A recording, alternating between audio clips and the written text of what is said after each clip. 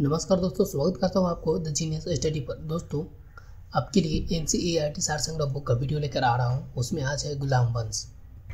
गुलाम वंश। गुलाम वंश का फ़र्स्ट क्वेश्चन है, गुलाम वंश की स्थापना किसके द्वारा की गई थी? तो कुतुबुद्दीन ऐबक के द्वारा। गुलाम वंश की स्थापना किसके द्वारा की गई थी? तो कुतुबुद्दीन ऐबक के द्वारा की गई थी।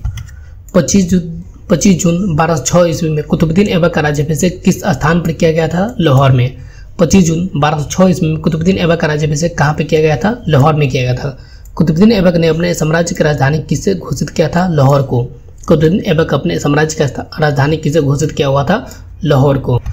नेक्स्ट है, भारत में तुर्की राज्य के संस्थापक कुतुबुद्दीन ऐबक को माना जाता है। कुतुबुद्दीन ऐबक ने कभी सुल्तान की उपाधि धारण नहीं की इसने केवल मलिक और सिपह सालार की पद धारण किया।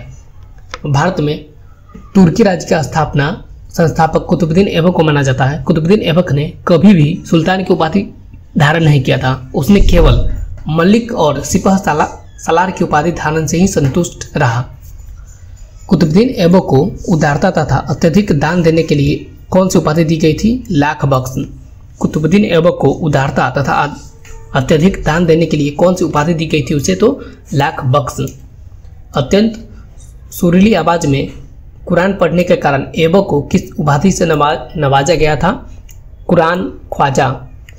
अत्यंत सुरीली आवाज़ में कुरान पढ़ने के कारण ऐबक को किस उपाधि से नवाजा गया? कुरान ख्वा। नेक्स्ट है, भारत के प्रथम मस्जिद कुबत उल इस्लाम की स्थापना किसके द्वारा की गई थी? कुतुबुद्दीन ऐबक के द्वारा। भारत के प्रथम मस्जिद कुबत उल इस्लाम की स्थापना किसके द्वारा की गई थी? कुबत उल कुतुबुद्दीन ऐबक। कुतुबुद्दीन ऐबक ऐबक ने सुफी संत ख्वाजा कुतुबुद्दीन बख्तियार काकी के नाम पर कुतुब मीनार का निर्माण प्रारंभ करवाया था। कुतुबुद्दीन ऐबक ने सूफी संत ख्वाजा कुतुबुद्दीन बख्तियार काकी के नाम पर कुतुब मीनार का निर्माण कर, करना प्रारंभ किया था। कुतुबुद्दीन ऐबक की मृत्यु कब हुई थी? वर्ष 1210 ईस्वी में चौगान खेलते समय घोड़े से गिरने के कारण हुआ था। कुतुबुद्दीन ऐबक की मृत्यु कैसे हुआ था? चौगान खेलते समय घोड़े से गिरकर 1210 ईस्वी में हुआ था। नेक्स्ट है कुतुबुद्दीन ऐबक की मृत्यु के पश्चात उसके पुत्र आराम शाह को पदस्थ कर गुलाम वंश का अगला शासक कौन बना? इल्तुतमिश। कुतुबुद्दीन ऐबक की मृत्यु के पश्चात उसके पुत्र आराम शाह को अपदस्थ कर गुलाम वंश का अगला शासक कौन बना? इल्तुतमिश। इल्तुतमिश सुल्तान बनने से पूर्व किस प्रांत का सूबेदार था? बदायूं। इल्तुतमिश सुल्तान बनने से पूर्व किस प्रांत का सूबेदार था तो बदायूं। दिल्ली सल्तनत का वास्तविक संस्थापक किसे माना जाता है? इल्तुतमिश को। दिल्ली सल्तनत का वास्तविक संस्थापक किसे माना जाता है तो इल्तुतमिश को। नेक्स्ट है, इल्तुतमिश दिल्ली सल्तनत का प्रथम सुल्तान था जिसने दिल्ली को अपनी राजधानी बनाई तथा बगदाद के खलीफा से सुल्तान की उपाधि प्रदान की। इल्तुतमिश दिल्ली सल्तनत का प्रथम सुल्तान था, जिसने दिल्ली को अपनी राजधानी बनाई तथा बगदाद के खलीफा से सुल्तान की उपाधि प्रदान की। इल्तुतमिश ने 40 योग्य तुर्क गुलामों को मिलाकर किस दल की गठन किया गया था? तुर्कान चलगानी 40 दल। इल्तुतमिश ने 40 योग्य तुर्क गुलामों को मिलाकर किस दल का गठन किया था? तुर्कान चहलगानी अर्थात चालीस दल का। नेक्स्ट है, मंगोल आक्रमणकारी चंगेज खां भारत के उत्तर पश्चिम सीमा पर, किसके शासनकाल में आया था? इल्तुतमिश। मंगोल आक्रमणकारी चंगेज खां भारत के उत्तर पश्चिम सीमा पर, किसके शासनकाल में आया था? इल्तुतमिश। इल्तुतमिश ने भारत में एकता व्यवस्था का प्रारंभ किए। एकता एक अरबी शब्द है, जिसका अर्थ है, भूमि को लेने वाले एकता, इकतदार कहलाता है। इल्तुतमिश ने भारत में एकता व्यवस्था का प्रारंभ की एकता एक अरबी शब्द है, जिसका अर्थ है, भूमि को लेने वाले इकतदार कहलाते हैं। नेक्स्ट है, वर्ष बारह ईस्वी में दिल्ली सल्तनत की गद्दी पर बैठने वाले प्रथम व अंतिम मुस्लिम महिला शासका कौन थी? रजिया सुल्तान। वर्ष बारह ईस्वी में दिल्ली सल्तनत की गद्दी पर बैठने वाले प्रथम व अंतिम मुस्लिम महिला शासका कौन थी? रजिया सुल्तान। रजिया को सुल्तान बनने के पश्चात गुलाम याकूब को किस पद पर नियुक्त किया गया था? अमीर आखुर। रजिया के सुल्ता, सुल्तान बनने के पश्चात गुलाम याकूब को किस पद पर नियुक्त किया गया था? अमीर आखुर।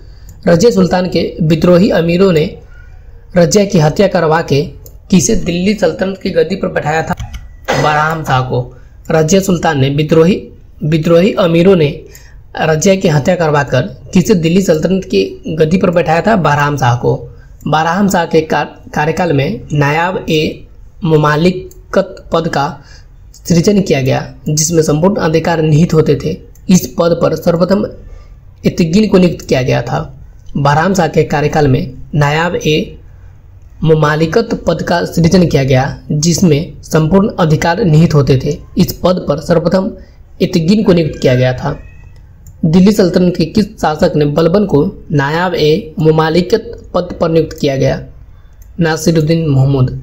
दिल्ली सल्तनत के किस शासक को बल, बलबन को नायाब ए ममालिकत पद पर नियुक्त किया गया? नासिरुद्दीन महमूद नेक्स्ट क्वेश्चन है, बलबन को उलुंग खा की उपाधि किसने प्रदान की थी? नसरुद्दीन महमूद ने। बलबन को उलुंग खान की उपाधि किसने प्रदान की थी? नसरुद्दीन महमूद ने। दिल्ली का सुल्तान बनने के पश्चात तुर्कान ए चालगानी को किसने समाप्त कर दिया था? बलबन ने। दिल्ली का सुल्तान बनने के पश्चात तुर्कान ए चालगामी को किसने समाप्त कर दिया था? बलबन ने। अपने विरोधियों के प्रति कठोर, लौह एवं रक्त की नीति का पालन करने वाला सुल्तान कौन था? बलबन। अपने विरोधियों के प्रति कठोर, लौह एवं रक्त की नीति का पालन करने वाला सुल्तान कौन था? बलबन। नेक्स्ट है बलबन प्रथम सुल्तान था जिसने राजत्व के सिद्धांत का प्रतिपादन किया। उसने राजत्व को न्यावत खुदाई ईश्वर द्वारा प्रदत्त तथा राजा को ज़िले इलाही ईश्वर की छाया कहा। बलबन प्रथम सुल्तान था जिसने रा, राजत्व के सिद्धांत का प्रतिपादन किया। उसने राजत्व को न्यावत खुदाई ईश्वर द्वारा प्रदत्त तथा राजा को ज़िले इलाही ईश्वर की छाया कहा। सिजदा एवं पैबोस प्रथा को अपने दरबार में प्रारंभ करने वाला सुल्तान कौन था? बलबन। सीता एवं पैबोस प्रथा को अपने दरबार में प्रारंभ करने वाला सुल्तान कौन था? तो बलबन। बलबन ने किस नाम से एक सैन्य विभाग की स्थापना की थी? दीवाने अर्ज़। बलबन ने किस नाम से एक सैन्य विभाग की स्थापना की थी? दीवाने अर्ज़। नेक्स्ट क्वेश्चन है, गुलाम वंश का अंतिम शासक कौन था? शमसुद्दीन कम्यूर्स गुलाम वंश का अंतिम शासक कौन था? शमसुद्दीन कम्यूर्स नसरुद्दीन महमूद एक शांत स्वभाव वाला व्यक्ति था। इतिहासकार सिराज ने इसे दिल्ली का आदम सुल्तान कहा है।